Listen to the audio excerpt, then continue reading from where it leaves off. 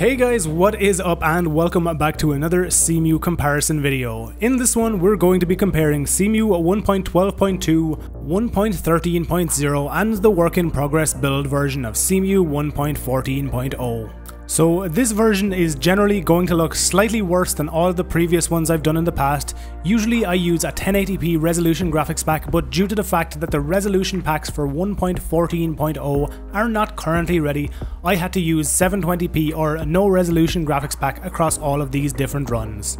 You should also be made aware that even though performance is very poor in Cemu 1.14.0, this is due to the fact that practically all of the internal optimizations in this emulator have been turned off in this build. They have done this so that they can find absolutely every single graphical error and bug and have it fixed before 1.14.0 goes into public release. Performance wise, 1.13.0 and 1.12.2 at least on Nvidia GPU hardware, run practically identically. AMD GPU users on the other side have reported to me that when using 1.13.0, the massive shadow issue that used to follow you around in-game is now fixed, as well as broken occlusion on foliage like grass and different kinds of plants. This change is a fairly significant compatibility improvement for all AMD Cemu users. If you yourself are an AMD GPU user, please let me know down in the comments when Cemu 1.13 releases or if you have access to it right now what your experience with Breath of the Wild and other games on this build are. Let's move on to our final test area, the Great Plateau. So once again in this area, you can see the performance parity between 1.12.2 and 1.13.0. It still astounds me that this 3 year old emulator is able to run a game like The Legend of Zelda Breath of the Wild at frame rates as high as we are seeing right now.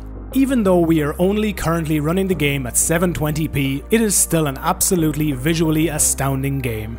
Framerate wise, 1.12.2 and 1.13.0 are so similar you probably couldn't tell them apart. However, some of the new quality of life UI and graphics pack changes we are seeing in this new 1.13 build are definitely making it worth the upgrade. If you haven't seen my video on the new graphics packs and how they function in 1.13.0 and will function in the future of Cemu emulator, I would definitely advise that you go and check out the video that I made. It's only about 2 or 3 minutes long, but it is absolutely mind-blowing these changes we are seeing in this new Cemu version.